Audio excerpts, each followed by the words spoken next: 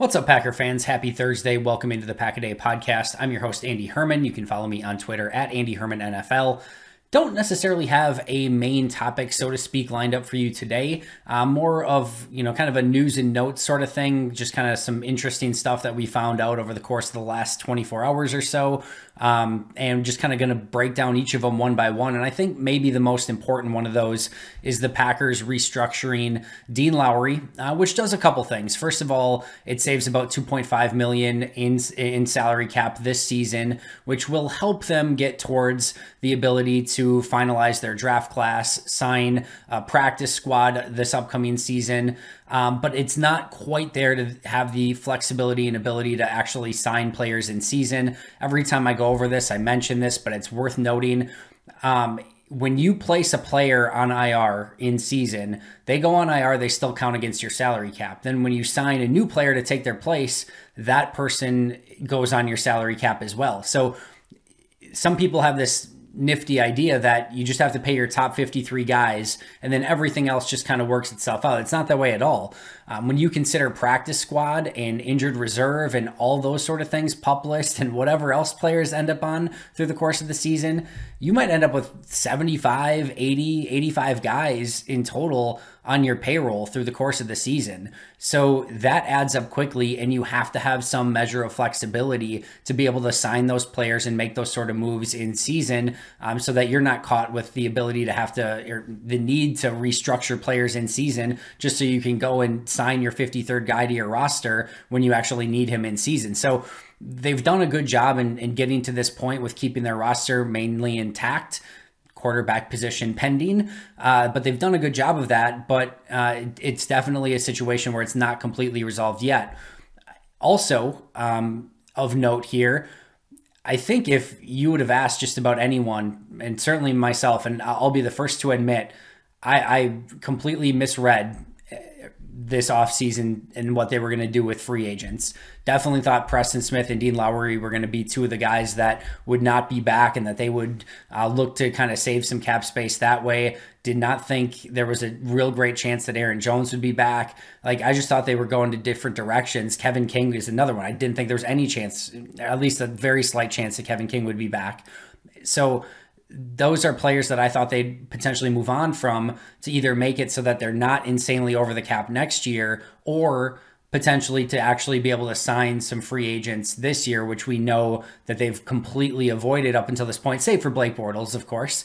Uh, but outside of Blake Bortles, which is still such a crazy thing to say, uh, they have not ventured into free agency. So I think that was not something that I necessarily expected. But with Dean Lowry on the roster and them kind of keeping things intact this year. Um, the two names that we have not seen restructure, the two names that I certainly thought would be at the top of that list at the beginning of the year, Aaron Rodgers and Davante Adams. Now we know the whole Rodgers situation. Davante Adams is another one, and as I kind of mentioned yesterday, I want to get to that in one of these videos coming up. But I'm still very, very surprised that Davante Adams is in the situation as well that he is in we don't know exactly what that quote unquote situation is. There may not be a situation at all. He may just want to come back and play out this season at his deal right now. But certainly interesting that he's not in camp uh, right now. Uh, certainly interesting that he's giving up some of that money uh, to you know that he's not at practices to not be there right now. Certainly, some of his comments were interesting about what happens with Aaron Rodgers and how that could potentially affect him. And again, I think the big thing is he's not he's going to be 30 and not very long and is on the last year of his deal. And Green Bay is in a really really tight situation with salary cap moving forward. It's it's a really really interesting scenario that again needs its its full episode to break down, but they've went out of their way at this point to restructure everyone else. The two that have an Aaron Rodgers, which again we know that there's a lot of extenuating circumstances there, and the other one's Davante Adams. They will likely have to do something with one of them in order to do those things that I mentioned. There's a couple other ways that they could potentially get just under enough. Some of the players that they release um, at cutdowns when they go from 51 to 53 on the uh, counting against the cap, what happens is you usually end up cutting some players that, let's say, they're making 870,000 or 900,000, 950,000, some of those sort of players, and then you end up with a player on the roster who's only making like the minimum, which is like 660,000. Well, you end up with enough of those, and all of a sudden you're getting a, a, million, million and a half here and there that can add some additional space to that. Not to get too far into the weeds here, but there are some other things that they can do um, to still do this. But I would be very surprised if something doesn't happen. Something's going to happen with Aaron Rodgers one way or the other. We know that, but I'd be very surprised if something doesn't happen. Period with one of those. It basically has to. So. Um, still more to come there. The other big noteworthy piece that kind of goes alongside of this, at least down the road a little bit, is the the NFL and the NFL Players Association have agreed that the salary cap ceiling in 2022 will be 208.2 million. That means no matter what happens, the cap will be at most 208.2 million next year. And if it go if they have more money above that, it'll take some of the costs that were offset in 2020 so that they don't have to continue to push this down the road and can hopefully get back to where a normal salary cap would be sooner rather than later. But they are going to limit it as a ceiling of 208.2. Now that doesn't even mean that it will get to 208.2. This could easily still be a cap that ends up around 200, 205 200, you know, whatever million doesn't necessarily mean that it's going to get to 208.2, but it will not go over 208.2 million. Why does that matter? Well, the Packers, as we sit here today, are already at 237 million in costs in 2022 at minimum. Like there's still more to come and as potential stuff happens with Davante and Rodgers, that could change very quickly as well. If you thought 2021 uh, was, uh, you know, Brian Gutekunst doing some salary cap gymnastics. 2022 is going to be that to even a much larger extent. And if you're hoping that in future, you know, upcoming future years, that Green Bay is going to be able to have the flexibility to be a player in free agency, that is not going to happen. This core of this roster right now, they'll be able to keep some guys that they want. If they want to keep a Davante Adams, they'll be able to do some of the things like that. But the core of their roster right now is what it's going to be for the next few seasons. And of course, they'll still have draft picks and things like that. But your Jaire Alexanders, your Aaron Jones, your potentially Davante Adams, if they can get a deal done, we'll see what happens with Aaron Rodgers, David Bakhtiari, Kenny Clark. Like those core players are going to be the core players moving forward. They're not going to be able to bring in more of those. And there's going to be some serious cap casualties coming in the next couple years. Because again, the highest that salary cap is going to be 208.2, and the Packers already at 237. I haven't looked at it, but my guess is that's nowhere near a, a full 53 man roster going into next year. But we'll see, and it's definitely going to be something that is going to be on the the back burner coming up and again all of the Aaron Rodgers stuff that's going on it plays a part in this too right if they do end up trading him post June 1st this year that helps a lot of that you know kind of work itself out they trade him and they get back a quarterback who's making the same amount of money. Not so much. Uh, so there's just a million different things at play here that could change this. But we know now that a 208.2 million salary cap is the highest it could possibly possibly be. Um, which even if it gets to that point, Green Bay will have some struggles. Other news and notes Aaron Rodgers and Tom Brady will be officially facing off again July 6th. They will be on the latest version of the match. It'll be Phil Mickelson and Tom Brady taking on Bryson DeChambeau and Aaron Rodgers. I know nothing, next to nothing about golf, so I'm not going to comment too far here. I am definitely going to be out of my element. Uh, but the biggest thing here that you need to know is the meme game has been absolutely legit so far, specifically from Tom Brady. Tom Brady is winning this, uh, unfortunately, once again. Uh, but Rodgers had a great Star Wars video to respond to things. He posted an Anchorman uh, GIF. So th- there's definitely some really good back and forth, and the golfers are getting involved as well. So uh, really, really fun stuff. And I think that's definitely, you know, even if you're not a huge golf person, I think that's just one of those where should be very entertaining uh, to watch Brady and Rodgers as well as DeChambeau and Mickelson as well. So that should be a fun event. Um, another small noteworthy thing is uh, the the Packers defensive coaches and and uh, Maurice Strait and the special teams coach as well uh, did interviews on Wednesday. Not a ton of takeaways, but uh, one of the I guess semi noteworthy pieces was Jerry Gray mentioning that they have five players potentially in mind who could play that nickel star position and without going too far in depth as to what that star position is, I mean, Jalen Ramsey played a lot of it for the Rams last year. And to me, the ultimate star slot player to have who have ever played this game was Charles Woodson during his time in Green Bay. And think of it this way: it's almost like a safety corner, slot corner, and even some semi pseudo outside linebacker hybrid that's playing in this role. And this isn't anything new, right? This is ideally what you would want. I mean, yes, who wouldn't want Charles Woodson or Jalen Ramsey playing in the slot, right? Somebody that has that sort of size, that sort of foot quickness, playmaking ability, the ability to cover down the field, the ability to move back and play safety, if, or, you know, in a cover three situation, cover four situation. Like it, those are ideal players. That's what you're looking for there. And why do you want that? Well, of course, you want the pure coverage ability because you could be asked to cover down the field at any time. Ball skills, always important as a defensive back. The foot's quickness. So if you go against, uh, you know, one of those shiftier slot wide receivers, think your Julian Edelman's, Wes Welkers, things like that, that you have the ability to stick with the shiftiness of those players.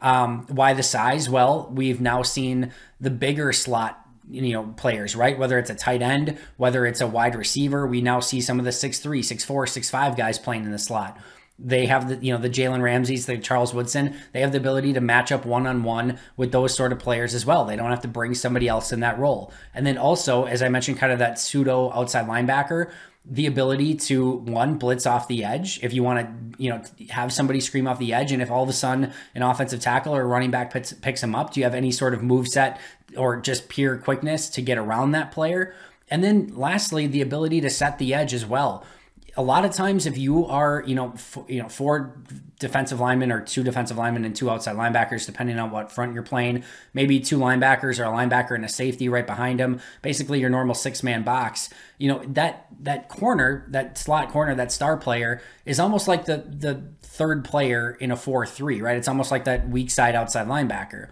Or if you're in a 3-4 it's almost like you've got you know three defensive linemen with and then the other outside linebacker you know, kicking out as almost like the, the, the true outside linebacker in a three four with like your Charles Ramsey, Ramsey, Charles Woodson or Jalen Ramsey playing like the other, almost like an outside linebacker in a three four, and then you've got your one outside linebacker and your other linebacker kicking inside as like your inside linebackers in a three four. So that player almost kicks in as either a weak side linebacker in a four three or as another outside linebacker in a three four.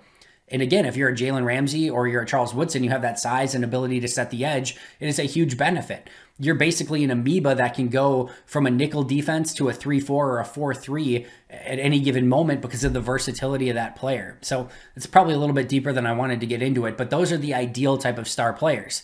Now, 99.9% of teams in the history of football don't have a Jalen Ramsey or Charles Woodson. So you're not going to get all those things that I just said, but you want as many as you can. If I had to guess the five players that I think could be in contention here for this star position, Jaire Alexander, Chandon Sullivan, Eric Stokes, Shemar Jean Charles, and Darnell Savage. Those would be my guess. Now, it is very possible that maybe they are not even including Jean Charles or Eric Stokes in this conversation because they just want to develop them as players and they'll figure that stuff out later. It could be that a Will Redmond is in that conversation. That's within the realm of possibility. It could be that a Josh Jackson is there. I don't think that's his best position. I think he's very much struggled in the slot, but the ball skills, the size, some of those things, the ability to play zone defense, the you know, all those things could be in the mixture there. Maybe a Ka'dar Hollman. I don't necessarily see that either just because the size isn't there. Really, we don't know if he can meet any of those thresholds at this point. But those are some players that could be in the conversation. But Jaire Alexander, of course, has the tenacity, has the coverage, the foot quickness, can get back in zone, can play man.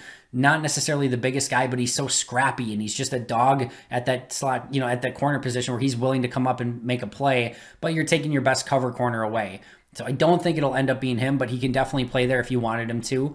Um, Chandon Sullivan is probably the leader in the clubhouse, has a little bit of size, and he's a good run defender, can set the edge a little bit in those situations. Does he have the foot quickness? Does he have the man to man coverage? He can drop back in his zone. He's got okay ball skills. Probably meets more of that than we think, but probably not any of it at a very high level. Eric Stokes, again, still developing. We'll see what he ends up being. I still think he's ideally an outside corner. I don't think he is a perfect fit in the slot, but I think Green Bay may just want to get their best corners out on the field. We'll see. I don't expect it to be Stokes. Jean Charles is a ideal, well, his best position, I should say, is probably a slot corner. Does he meet all of those criteria? No, he doesn't. Uh, but he's an interesting player with a high football IQ who has some ball skills um, and has some foot quickness in and out of breaks. So he could be somebody that plays there. And then Darnell Savage, another one that makes some sense. I don't think he has the pure coverage skills, but I have a feeling Green Bay's going to play a lot of zone. He can get back and play that safety. He is aggressive against the you know against the run and in the run game. Um, I think that could make a lot of sense. If I was a betting man today, I would say Chandon Sullivan uh, would probably end up being the guy with Darnell Savage sprinkled in, but a lot of time left to kind of figure that out. But they said five guys in the mix. Those would be my guess. Again, maybe a Redmond, a Hollman, and Josh Jackson could get involved as well. But um, I'm expecting Chandon Sullivan and Darnell Savage to maybe be the leaders in the clubhouse there. Last but not least, Green Bay did sign a wide receiver, probably because most of their wide receivers are not there right now. They signed DeAndre Thompkins of Washington Defenders fame of the XFL or AA, I forget which I think it was the XFL. Um, too many weird leagues that have happened over the last few seasons to keep track of which, but I believe it was the Washington Defenders of the XFL. Um, but uh, he played there for a while, played for Penn State, um, and will give them some some depth right now. While most of the receivers are not in camp for whatever reason. That's going to do it for me. Uh, make sure to follow if you have not already and subscribe. Uh, make sure to check out today's audio podcast wherever you get your favorite podcast. Jacob Westendorf, Jimmy Christensen, Maggie Loney. So great crew today. Make sure to check that out. I'll be right back here tomorrow. But until next time, and as always, go Pack Go.